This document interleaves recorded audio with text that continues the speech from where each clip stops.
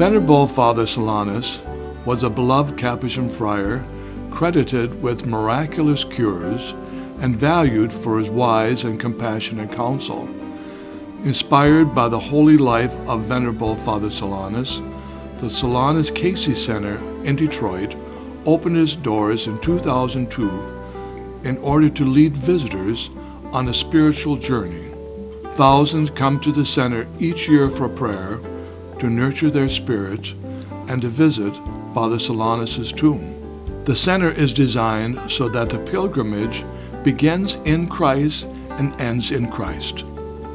The pilgrim begins by passing through the Shepherd's Gate, entering into the creation garden, an interreligious space inspired by St. Francis of Assisi's Canticle of Creation. A large wooden door welcomes the pilgrim into the center. The pilgrim is then met by a crystal door, shining with the light of Christ, with the words etched upon it, ask, seek, knock. On passing through the Christ door, one encounters life-size bronzed images of contemporary men and women who followed Christ faithfully, who embodied for us the law of Christ, the Beatitudes. Next, the pilgrim enters the Ghost Chapel and the gallery.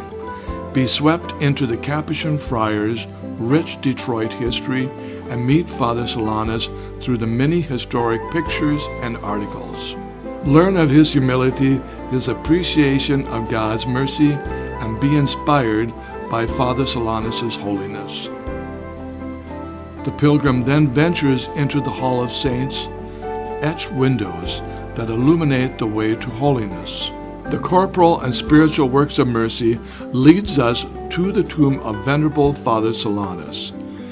From his tomb, Venerable Father Solanus continues to lead us to Christ, to the Church, and to recommitment at the waters of baptism. At the Solanus Casey Center, the pilgrim is led on a journey to explore the call of Christ in his or her own life, to discover the peace and grace which is found here, a sacred space filled with God's grace.